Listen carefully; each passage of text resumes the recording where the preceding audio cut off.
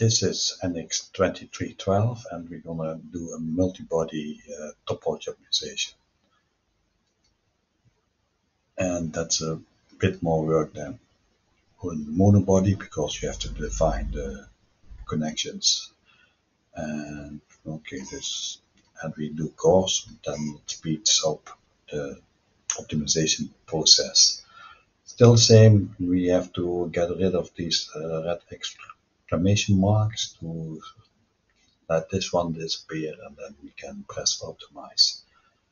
Um, and we have a study. Oh, that's wrong. Um, and that we study how we did uh, maximum stiffness. Okay, that we did correct. Um, then we're gonna define the three def um, design spaces. Right mouse button, click new, and this material is gonna be library material because you have to select that also. Okay, and then the next one is click new this one and we're gonna create that with titanium.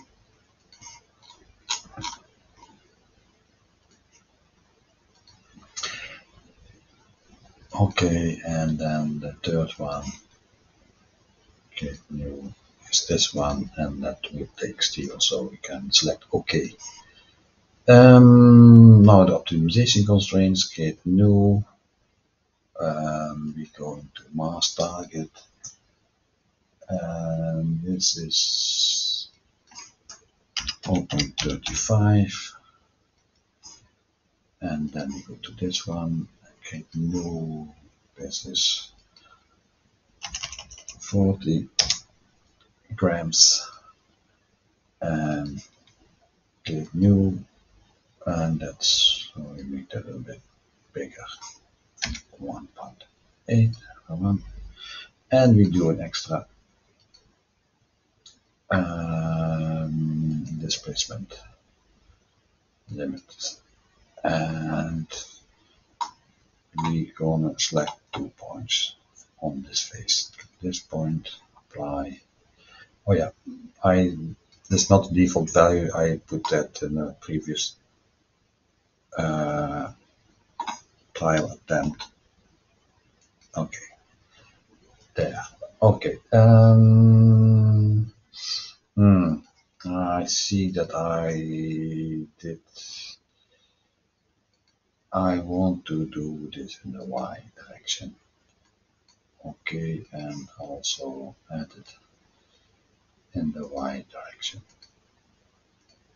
Okay, um, then now connections on the first scenery body. There's no uh, um, exclamation mark, but you have to do that. And I select these so they come all steel. That's good enough for me. Then we define connections. This is a bit tricky because uh, you have to get here a thickness and uh, we'll try to figure it out. We, I select this and then I select this and this is let me see yeah that's correct because if I do this this becomes bigger so that's the shell. This is what I want. Okay. Then I go to the next one.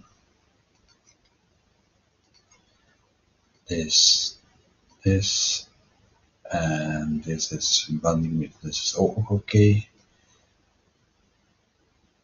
okay then we the next one we select this one and this one is that okay? Yeah it's one millimeter. Okay. And then we select this and this one that's also one millimeter that's okay. And then we select new connection. This this. Okay, this is not what I want. Is that going? yeah and this is okay and then we select this oh sorry shift select deselect new connection here here yeah that's one millimeter so that's good okay um this is now six done. Then we'll go to analysis constraints. Create new. And first we select a pin. Offset 3 minutes okay. And what is now the exclamation mark disappears but that's strange because this is not sufficiently constrained. It can be turning around. So there's no check if the, six degrees of freedoms are suppressed. So uh, I know so I have to do a new one. And I'm doing a, sli a linear slider here. Now this thickness offset gives make the, these uh, two points for the displacement. I gave in uh, feasible. And the linear slider is indeed in y direction. So that's correct. And um, then we're gonna do create new a load.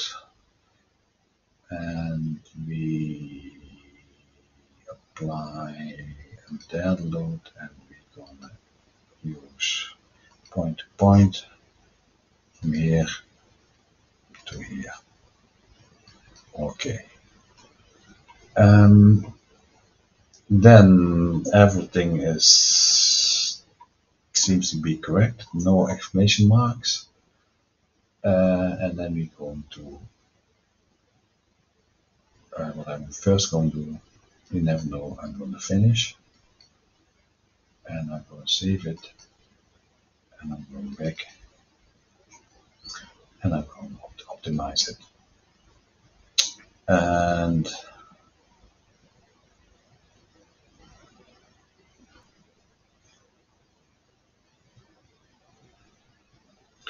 Okay, the, the normal uh, message because I have no proper GPU, so that is working on uh, uh, the CPU.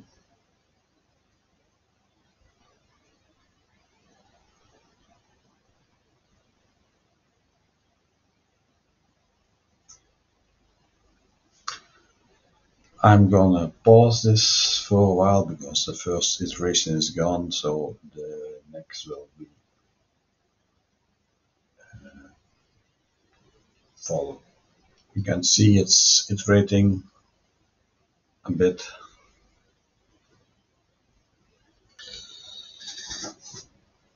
I see that the results are nice to stop. Okay, the mass is not taking, so I'm gonna stop here and then it uh, takes uh, 15 seconds that uh, the path is created. It seems always that's what it seems to me.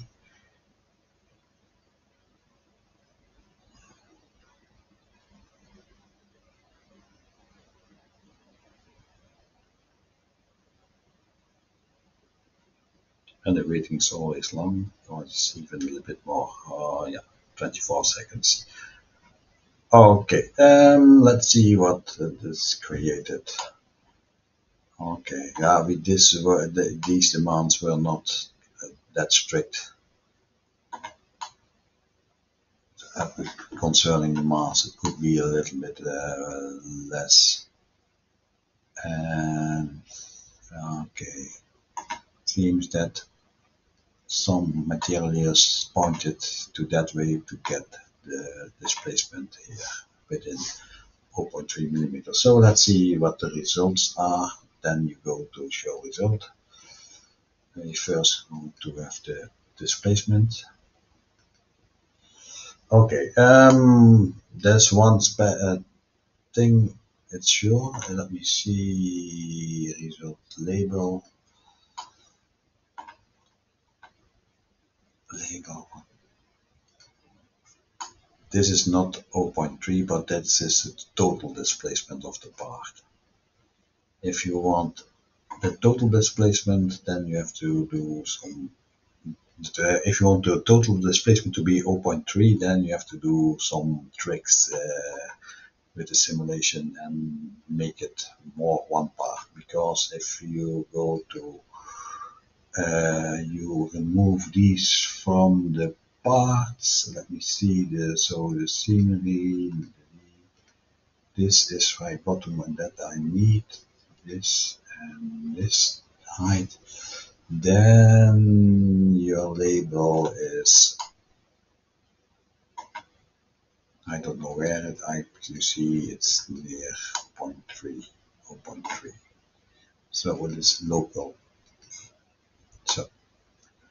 um, you can see uh, let me see result report design space all three you can see what they made of it and optimized stiffness and displacement here.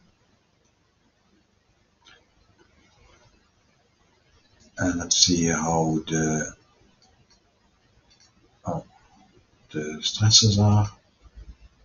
Stress apply. Um, they are they appear and these should the other one here that's strange that they move things. So this is the overview of all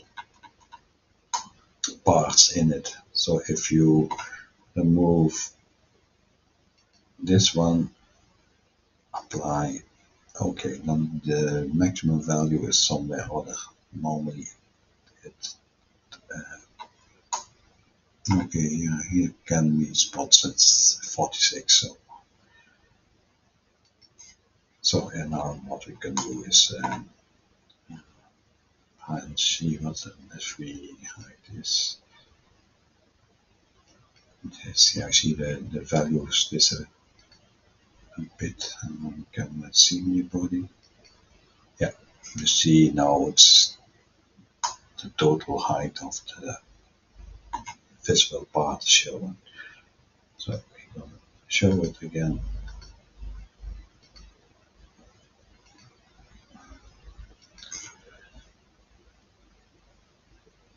Let's. Okay. Mass targets.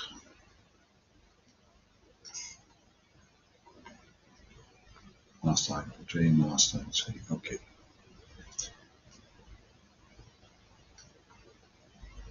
This is.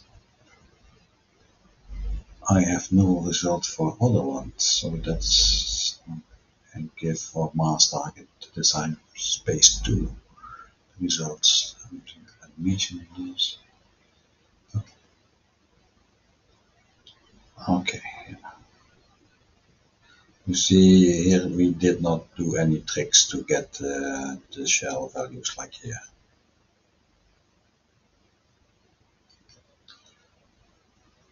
Um, this is, was the this is the end of this uh, the example of design spaces. Thank you for your time.